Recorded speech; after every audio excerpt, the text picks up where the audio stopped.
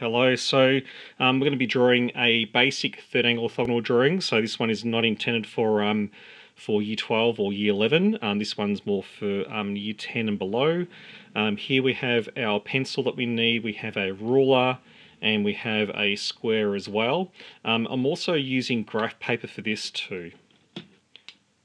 Now, if you are in senior, for example, there is a separate video for that.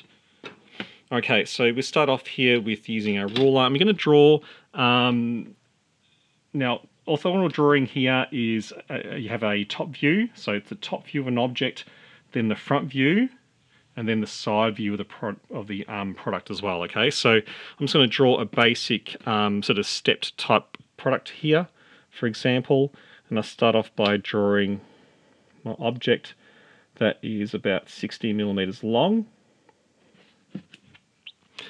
by, I'm just making this up by the way, and then I'm also going to have it so that it is um, probably about 40 millimeters high.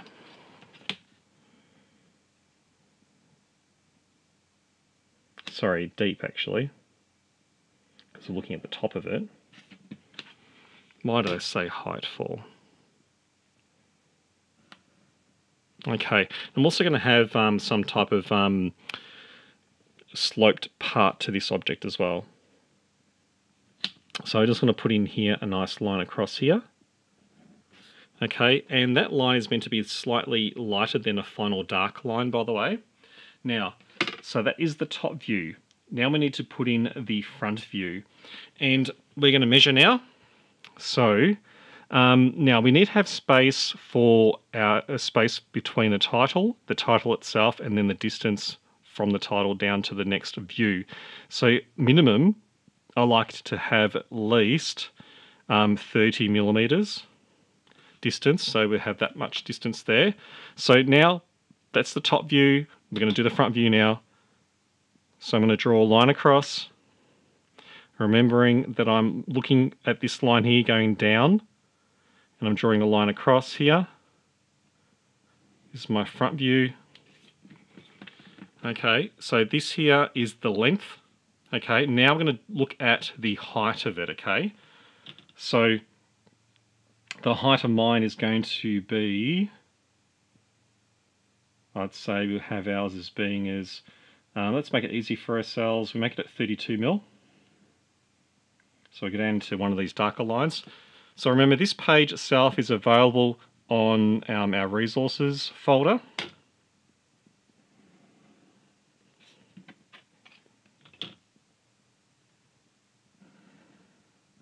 All right. Now, one thing we need to do too is have um, the point of um, this slopes down. At the moment, this whole thing starts to slope down right from the top going down. This here is a ledge. So this is um, accurate. However, we need to figure out where that slope finishes on the on the vertical. So I'm going to put in a line about here somewhere. And you'll see this taking shape once we do the right side view. Okay, so imagine this, right? We could always draw the right side view by measuring it and things like that, okay? Um, what we could do though, to make it easier for ourselves, is if we use a right angle triangle, and we look at this point right here, and that is the um, top right-hand corner of what we call the bounding box. So this is what we base our 45 degree measurement from. So check this out. So I'm just putting the um, square up against one of the lines on the grid. I'm drawing a faint line. Make sure it's nice and faint so I can just barely see it. A nice faint line going up. And after that, what we do here is we have 30 millimeters distance. We're also going to have 30, 30 millimeters distance from that other side there. Okay, so I've just got a little dot right there. And I'm going to draw a, a horizontal, horizontal line, extend that line from the base, well, in fact, from that front edge of this product, right across to this where it intersects. So nice faint line, guideline only. And we draw another guideline as well. We draw a guideline across. Okay, so we have these lines through here. What we can do now is we can go to a right angle triangle. Now if you are using a normal ruler, obviously put the ruler up against those lines on the graph paper. And I'm going to draw vertical lines going down now. So where it intersects, draw a vertical line down. Well, my ruler's got a bit of a pockmark taken out of it, so that wasn't good. I think one of you have um, been using this as a as a drum set. Okay, there we go.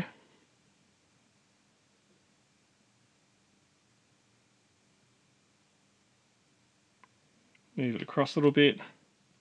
And where it goes down, put a nice faint, faint line going down. And where it intersects there, that's the intersection point, we draw another line going down. Okay, so it's a nice faint line going down there. You can just make that out on the, on the page. And now we're going to draw a line across horizontally.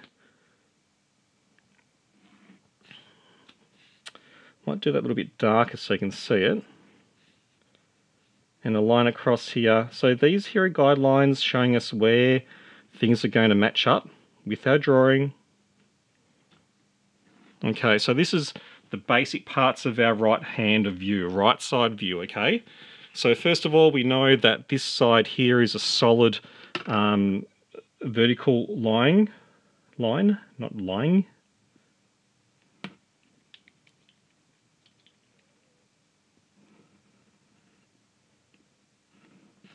Okay. Then we draw a line across the base.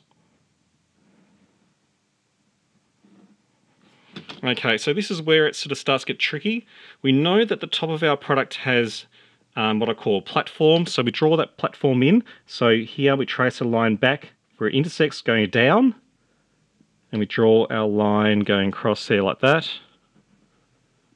Okay, and we know that there's another line that comes up as the step right there. So you see that matches up there, and now we draw a line going across now this is not 45 degrees, this is an arbitrary angle. I know that because these dimensions are different. Okay, so that there is the top view, front view, right side view. All right. So some things we need to do now is that we need to put in the um, the titles. So what we need to do is we need to measure down from the um, this edge here, go down 10 mil, put a dot. Okay, so that there is that point there. So by the way, this graph paper is three millimeter increments. Yeah, so one millimeter small increments and three millimeter main increments. Okay, so we measure down 10 mil and then we have 5 mil. Okay. And right here at the 15 mil mark. So now we write in, right across here, it pays to draw a faint line across so you can use that faint line going across as a bit of a guide of where you draw, put the type in, okay? And we put in our type as being condensed. So just like this, nice, nice and condensed. So you notice that a lot of architects, a lot of product designers use um, use that very condensed typeface just there like that. And we put in the other other ones now too. So 10 mil down and then 5 mil so 10 mil down and then 5 mil again. I'm going to put lines across. Nice faint line, just so you can just make it out for yourself to see. And this one here is going to be front view, or front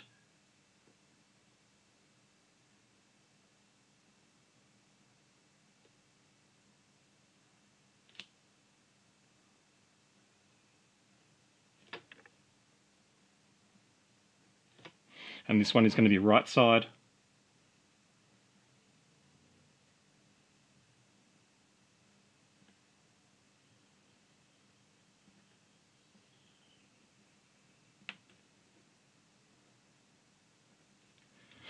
You've got to forgive me for being a bit shaky at the moment because I'm sort of um, I'm bobbing down just in front of the window at home because we're doing online learning at the moment, so just bear with me.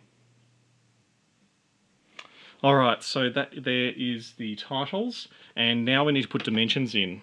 Okay, so um, in fact we can put some of these this line here a little bit darker because it's a little bit too light there. Okay, so now, so now when you put measurements in, so measurements go on to the left hand side there normally and across the top. Okay, and across there they can always be there and around there too on that side there too.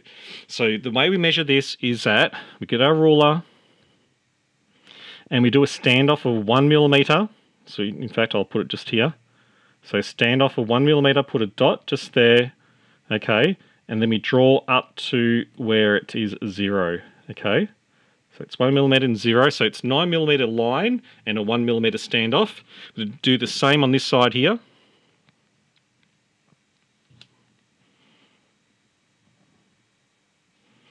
And we've also got a line here we need to um, place in as well. So we'll do that line too. All right, so now we measure down from here two millimeters. And that is at that point there. So I know where that line is. So I'm going one in from that darker line. I'm going to put in a vertical line going down. All right, so just like that. So now we need to put in our arrowheads. So our arrowhead is three millimeters long by one millimeter wide. So three millimeters long by one millimeter wide, just like that. See if you can do it. Takes a bit of practice.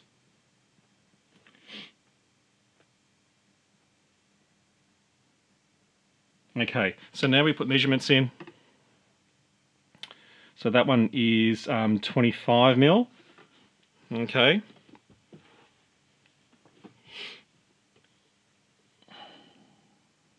So I like to go um, three millimeters in terms of um, the height of that type.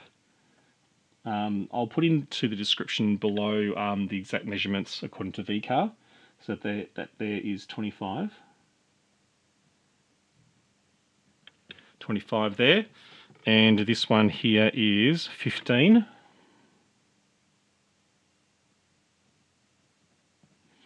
Okay, cool. So you put the measurements in all the way around for this one, and that'll be it for this stage in time.